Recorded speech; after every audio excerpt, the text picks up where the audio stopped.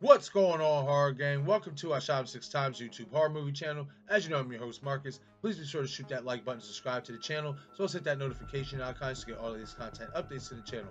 In this video, I want to talk about a recent article from Screen Rant regarding Stu Macher and a possible return to Scream 6 and how it could make sense more so for Scream 6 than possibly Scream 7. And I'm going to give you my take on the situation. Before I do that, let's hit that intro.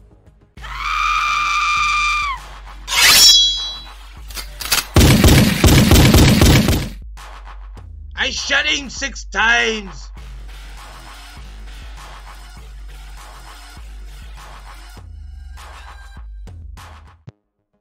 All right, gang, so let's get into it. So, in an article posted two days ago by Richie Howe of Screen Rant, this article is titled How Scream 6 Leaving Woodsboro Sets Up an Original Character's Return.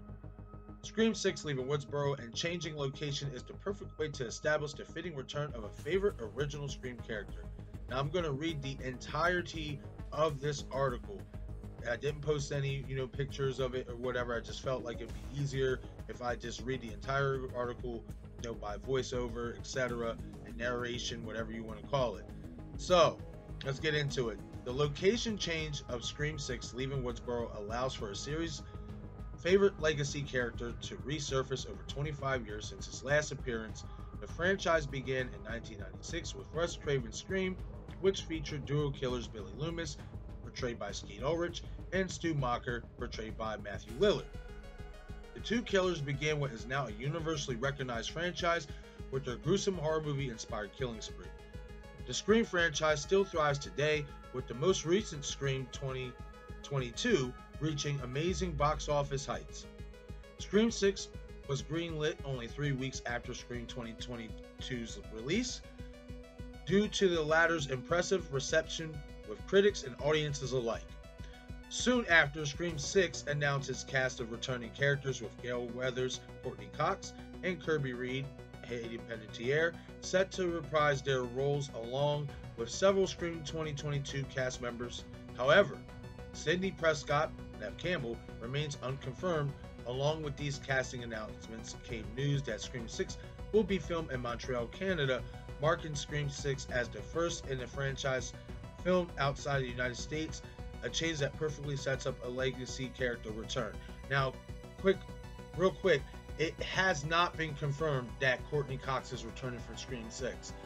It has not been confirmed. She said that she read the script, the script is nice, but she hasn't seen any contracts. So she has not been confirmed for Scream 6. Keep in mind, she was on the cast list originally, then she was taken off right after Core 4 was announced and Hayden Panettiere was announced. So we have no official confirmation that Courteney Cox is returning to this film. Okay, so let's continue. Audiences have been wanting Stu Macher to return for a long time. Yes, we have. And many thought the villain would finally reappear in the latest Scream movie. While they were disappointed, there were there may be a very logical reason for Stu's absence in 20, Scream 2022. Stu is a part of Woodsboro's legacy, both because he is a town local, but also because he is one of the two original Ghostface killers. However, Stu wouldn't be able to exact his revenge on Sidney and the others in Woodsboro because part of what makes the killers in Scream so effective is their ability to remove the costume and blend in something he can no longer do with his infamy. Examples of how the events of the first film shook the town are all around. From rule obsessed Randy Meeks' home memorial to Tatum Riley's ashes in Dewey's slash David Arquette's trailer.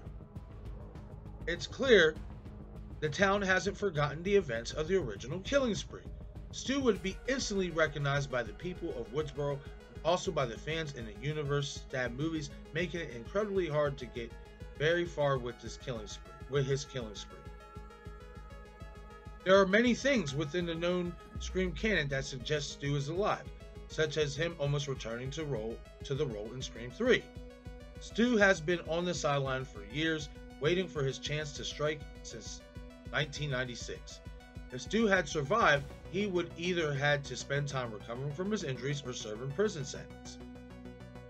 Even if Stu got loose, his recognizable face would make him instantly a suspect. Scream 6 change of location is the perfect opportunity to release Matthew Lillard Stu into the world of Scream once more, wiser, fitter, and more experienced, ready to take on Sidney Prescott one last time in a place where he can truly reinvent himself. Changing location for Scream 6 not only makes sense for the franchise, which has always reinvented itself, but also for the characters of the series who have suffered so much trauma in Woodsboro.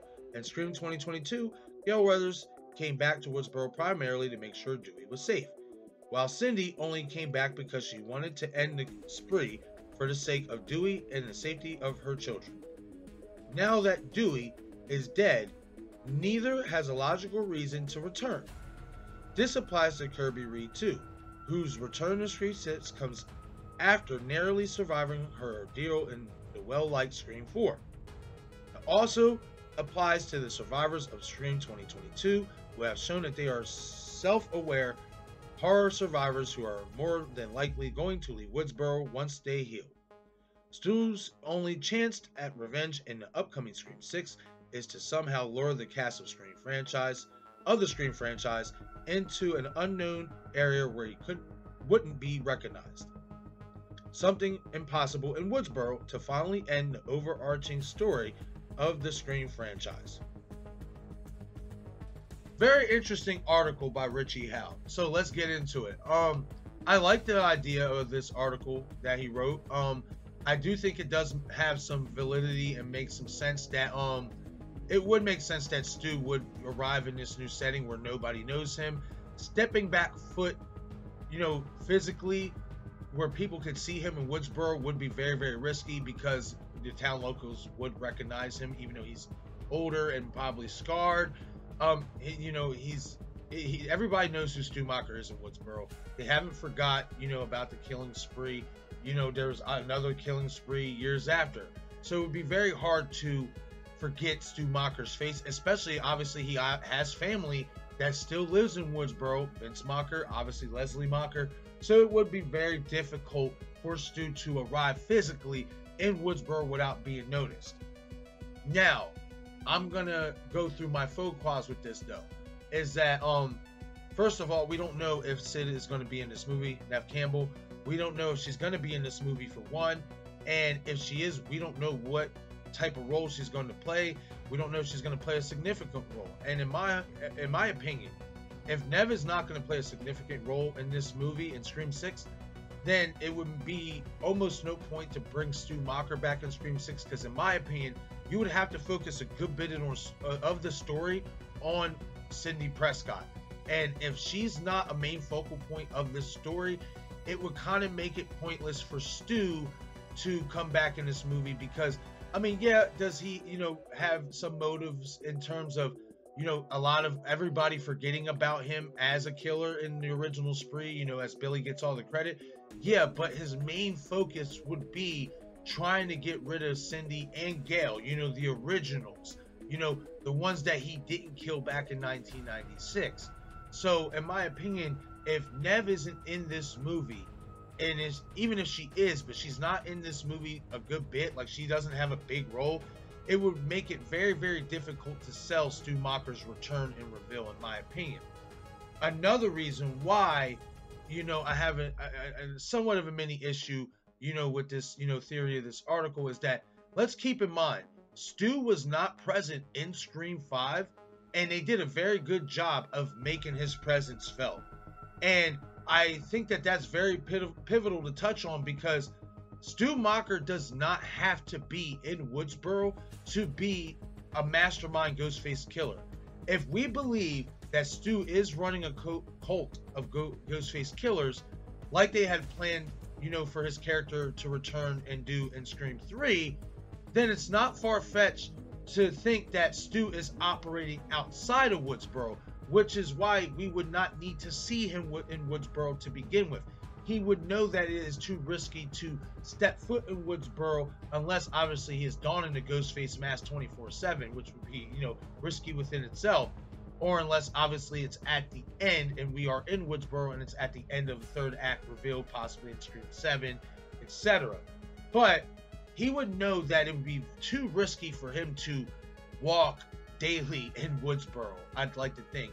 So he would be operating outside of Woodsboro in a place that nobody knows him, where nobody recognizes him, so he can get his supplies, so he can live and, and obviously get food and you know still be nurtured and still be living and alive and well. He does not have to be in Woodsboro for his presence to be felt or for him to be operating as a mastermind in these new Ghostface killings, as we've seen in Scream 5. We didn't get we didn't get Stu Macher present in Scream 5, but we did get a lot of little nuggets that suggested that they could possibly bring him back in this new Scream trilogy that we believe that we are getting. So that's my that's just my little issues with this, you know, with this article and the whole reasoning for bringing back Stu Macher in Scream 6 making more sense as opposed to down the line is that, like I said, guys, Sidney Prescott would have to be involved in this movie a good bit not just for a couple minutes, a couple scenes. She'd have to be involved in this movie a good bit, and we we'd have to get Neve to be on board. We don't have any confirmation of Neve or Courteney coming back in this movie. So, in my opinion, it just if neither one of them is in this movie, especially Neve, especially Neve, if neither one of them is in this movie, though, there's just no reason for Stu Macher to come back in Scream Six, in my opinion. It would it would have to be saved for Scream Seven and the whole, you know, him not be, you know, being able to blend in Woodsboro. Obviously, that's true. He would not be able to physically be able to walk in Woodsboro daily without somebody recognizing who he is and obviously ratting him out, and you know, etc., etc. But if he is working out, you know, if he is working behind the scenes and he's a, you know, a mastermind Ghostface cult leader, he wouldn't need to set foot in Woodsboro up until the final act scene of Scream 7, which would we would like to believe is going to be back in Woodsboro full time, then it would make sense that he's obviously in Woodsboro, but only for the final act and reveal that he is still alive and he's been a part of this entire new Scream trilogy and he's been this mastermind and cult leader the entire time, you know, hiring these um Ghostface killers across Scream 5 six, and now seven. Whoever's accomplice will be in seven, thus leading to the big reveal and thus revisiting somewhat of the same storyline that they were going to do in Scream 3. But that's my take on this article, guys. I do find it to be a very fascinating and somewhat credible article. I'm not shooting down the idea at all. I just think that it would be very difficult to to pull that off for Scream 6 given the reasons that I provided you guys. But I want to hear from you guys. Hit the comment section. Let me know what you guys think about the article. Do you agree that it would make more sense for Stu Macher to return on Scream 6, given the location is going to be out of Woodsboro? Or do you believe that, you know, do you agree with me that he would not need to be in Woodsboro to still be operating as a Ghostface killer behind the scenes, and that we should wait to Scream 7, especially if Neve Campbell isn't in Scream 6 much, if not at all, if she does return to Scream 7 and she has a bigger role, do you guys think that we should save Stu Macher's reveal if he is alive for Scream 7? Hit the comment section. I want to hear from you guys. All right, gang, that's it for this video. Once again, this is I Shot Six Times YouTube Horror Movie Channel. I'm your host, Marcus. Please be sure to shoot that like button and subscribe to the channel. So also hit, hit that notification icon to get all latest content updates to the channel. Your support is greatly, greatly appreciated, and I would love for you guys to join this wonderful community we got growing here on YouTube, as well as sure to be be sure to follow me on Instagram, Facebook, and Twitter. Thank you for watching.